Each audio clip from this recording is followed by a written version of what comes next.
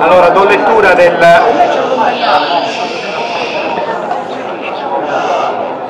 Do lettura della dedica che ho iscritto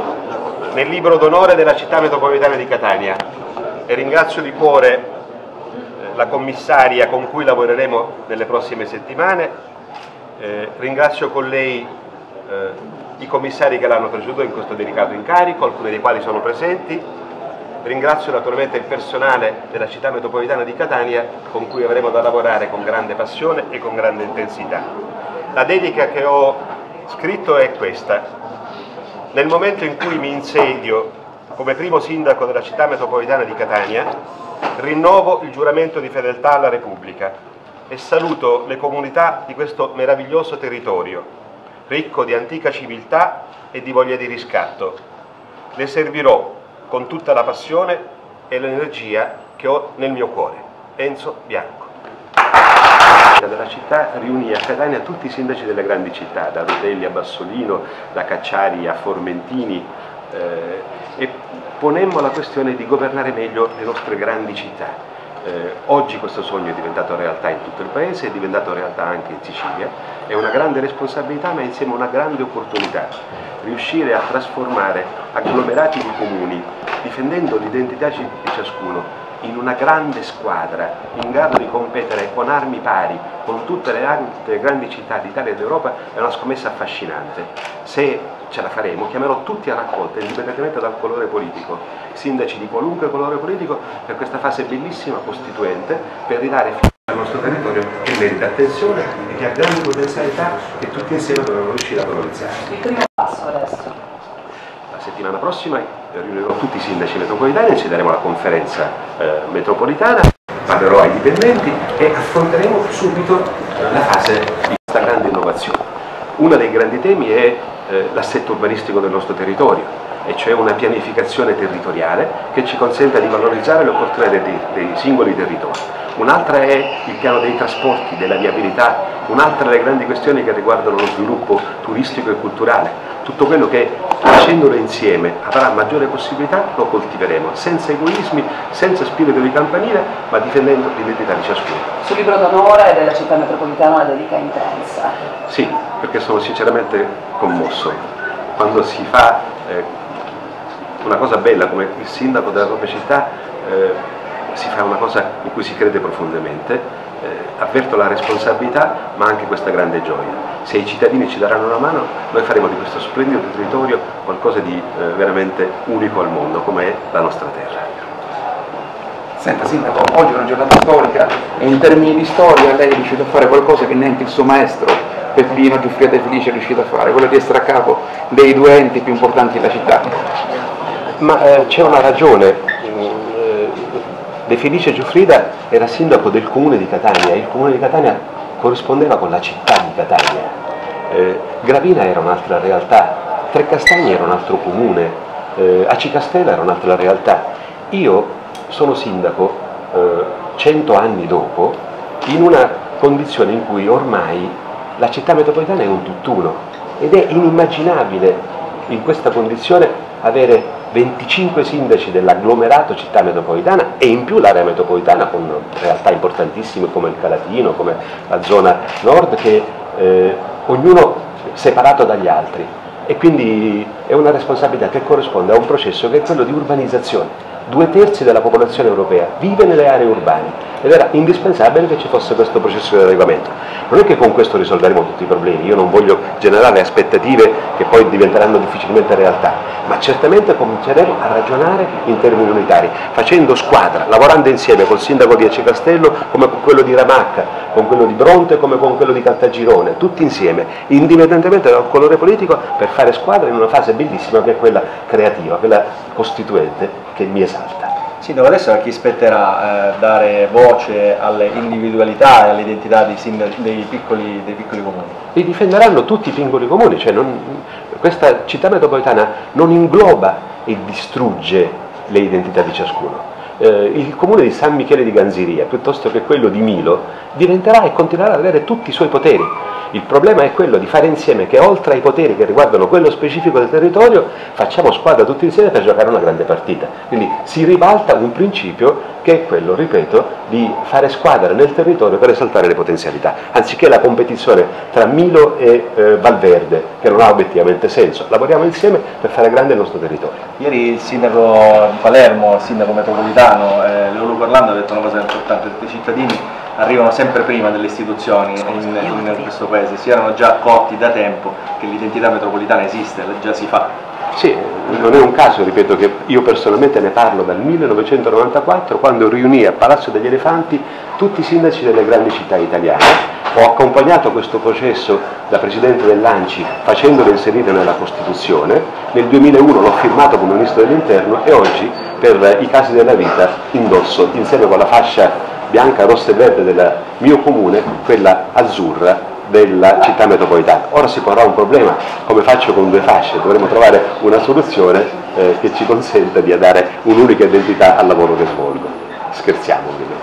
Sindaco, quando, quando si, eh, si, il nuovo Consiglio metropolitano si insedierà, quindi quando avrà pieni poteri, cioè quando si potrà... No, I poteri di sindaco metropolitano ce l'ho immediatamente, non devo aspettare nessun altro momento. Nel momento in cui abbiamo firmato divento sindaco metropolitano e una parte rilevante dei poteri sono affidati al sindaco metropolitano. La settimana prossima insedio il Consiglio dei sindaci della città metropolitana e il 30 di settembre, dopo le elezioni eh, previste con il sistema della legge, quindi con tutti i consiglieri comunali della città metropolitana, con con voto ponderato eleggeremo anche l'altro organismo e quindi il primo di ottobre questa fase creativa sarà finalmente completata. Che è una fase politica e con tutti i calcoli della politica. Sì, però il sistema è un sistema che marcia, nessuno avrà il diritto di veto, tutti insieme possiamo lavorare, mentre il sistema che stavamo lavorando precedentemente era tutto ricco di sistemi di veti fatti apposta per bloccare. Questa manovra non è riuscita, per fortuna, nella nostra città metropolitana.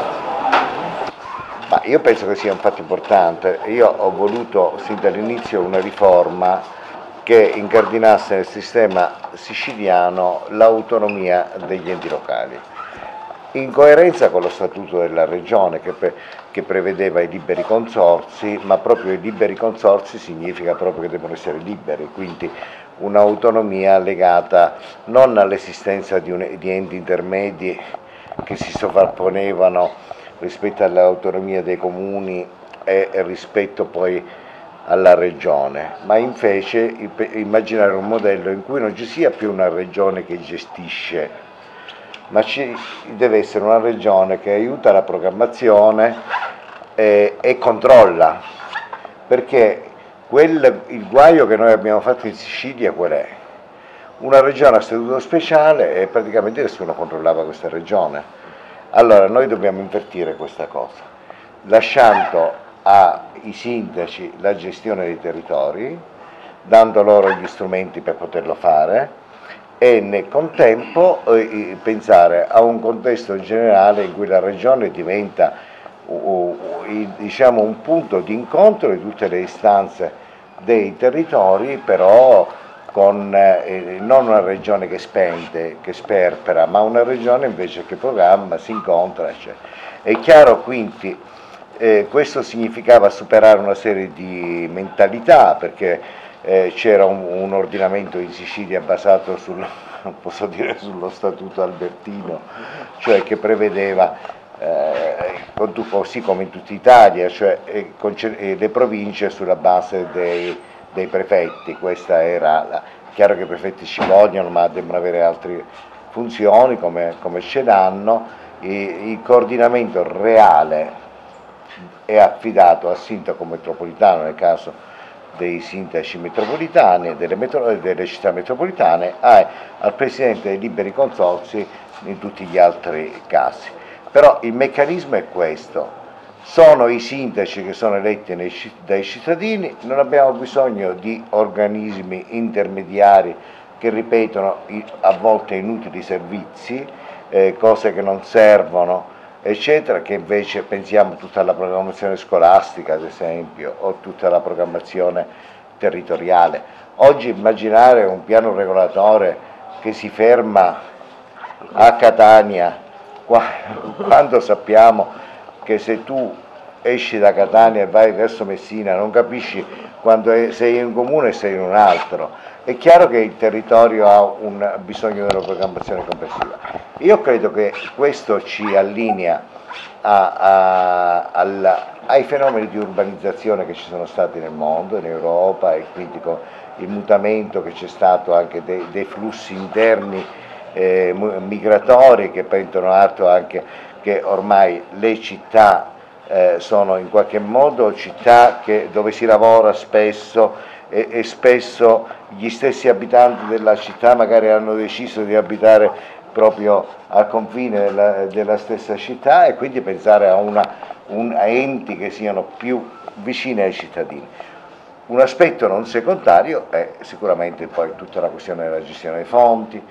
eh, nazionali, europei, regionali che diventano incardinati dentro un unicum, dentro un processo che non li parcellizza senza un progetto, ma invece li, li investe su un piano più unitario. Credo che per Catania questa sia una cosa importantissima perché è un giusto riconoscimento per la città di Catania, che è una delle città più importanti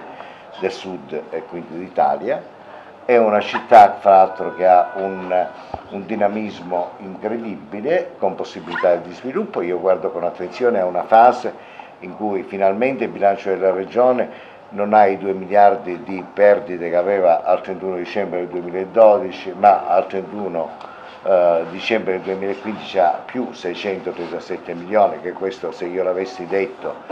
nel mio programma che dopo tre anni saremmo riusciti a risanare i conti della regione, qualcuno mi avrebbe fatto internare,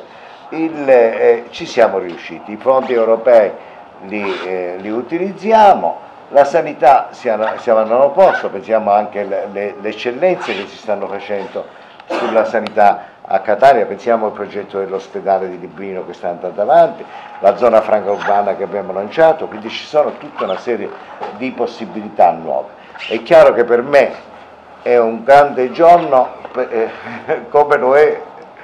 per Bianco, con la stessa gioia, perché penso che finalmente questa città metropolitana ha un suo coordinamento, una riforma delle province che mi hanno voluto ostacolare in ogni, in ogni modo perché non bisognava dare questa soddisfazione che tutti dicevano di voler fare da almeno 30 anni e nessuno in realtà poi quando andavamo in aula la voleva votare. Nessuno avrebbe scommesso un centesimo sul fatto che la facevamo, l'abbiamo fatta entro la fine dell'anno, io do tempi realistici perché bisognerà organizzarsi, eccetera, ci sarà da vedere, avremo un sistema di autonomie locali che funzionano veramente nel rispetto dello statuto siciliano che dà un ruolo importante ai comuni, alle città e ai territori.